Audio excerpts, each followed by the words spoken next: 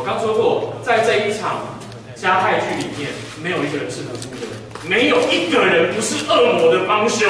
今天被徐小新，徐小新没有任何恶意，我也不是这个。我说他提到，因为这个是公开的历史记录，我必须被过澄清。第二是第一时间，我觉得非常的丢脸，就是说，哦，就这个事情发生在我身上。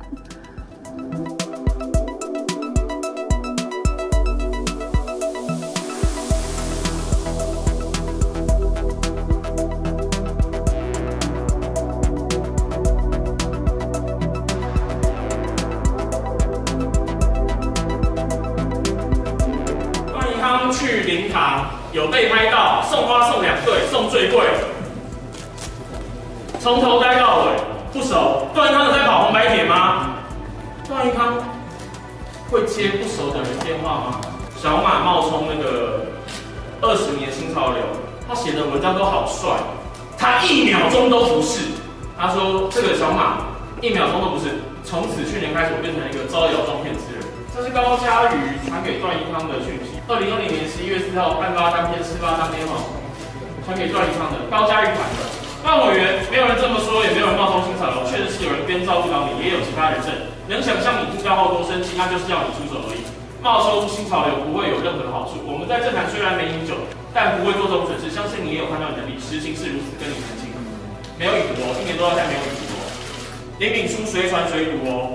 打电话会接哦，如果不接，那个段一康的截图最神秘、最奥妙、最玄妙之处是，段一康在忙没接电话，他可以打到接为止。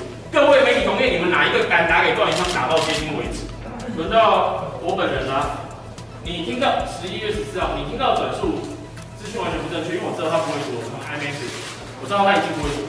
正确内容是新潮流做公司把会议资料回收，统治会议资料回收做法哈，我不喜欢新潮流，人尽皆知啊，真的。但是我都知道我不喜欢断章对我会喜欢新潮流吗？所以挖苦讽刺也是难免。那次是这样的，就是开一个会议，我准备了四十页到六十页资料，我准备，结果来的官员全部像那个搭顺风车的资料我准备。我那天很生气，就说那那个我们全部讲解完之后，资料结束不要带走，就跟新潮流开会的方式一样，结束不准带的。这是我的努力，我的智慧，才可是我的心血，你们自己记录好不好？新潮流早不是什么正面词汇，没有任何人说或是冒称没有意义或好处，单纯就是听的人理解能力有问题，转述错误。脸书写的很冒然是他，你听到时应该很生气，但你听到并非是这么喜欢全是基于事实，非事实而伤害人，一辈子都要被你莫名的伤害，真的衰爆了，硬传。好，我被要求不能出来公开博士，讯息我传的，电话我打了，你不看不接，我也没办法。你们对人永远就是这样。如果正式证明我说过冒称，我恶性恶意，我有明说，我有冒称。是二十年新潮人，我跪在中心大楼门口九天九夜不吃不喝，自觉生活。我从来没有对段先生那么多年在外面出过一句恶言，公开场合一句都没有。对他的人品不是尊敬，我一直敬他一条是是一条汉子。他污蔑我，践踏我，糟蹋我，抹黑我，我们都传讯息给他了，还我一句公道了吗？这是汉子的作为吗？段委员、段前委员，你的所作所为，林炳书都有录下来，都有录下来，所以我才说，真重那支录音笔吧。录音笔如果在检察官手里，你或许还有些办法；如果录音笔不在检察官手里，恐怕林炳书一辈子就是你的恐怖情人了。他叫你大哥一辈子，他出来了，他就是你大哥了。林炳书参加张宏志的饭局，主要不是主就不是张宏志，可是。跨县市去吃饭，每一个宾客来宾座位都有确定跨县市吃饭。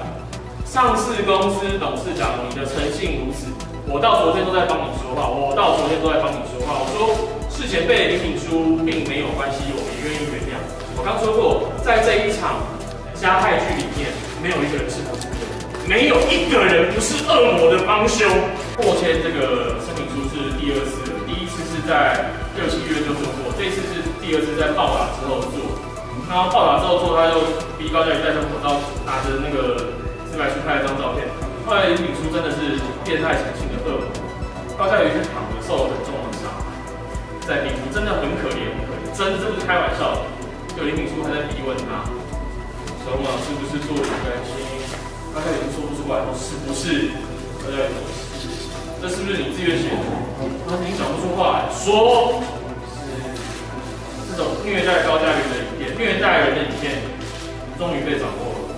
检察官到现在不愿意对这个 Crazy 维尼梅品维动手。如果林敏书的备份是在李国章那边的，事前都已经给了那么多资料，如果最后见那个面，白豆腐头就在李国章那边，如果他的备份资料一份就在李国章那边。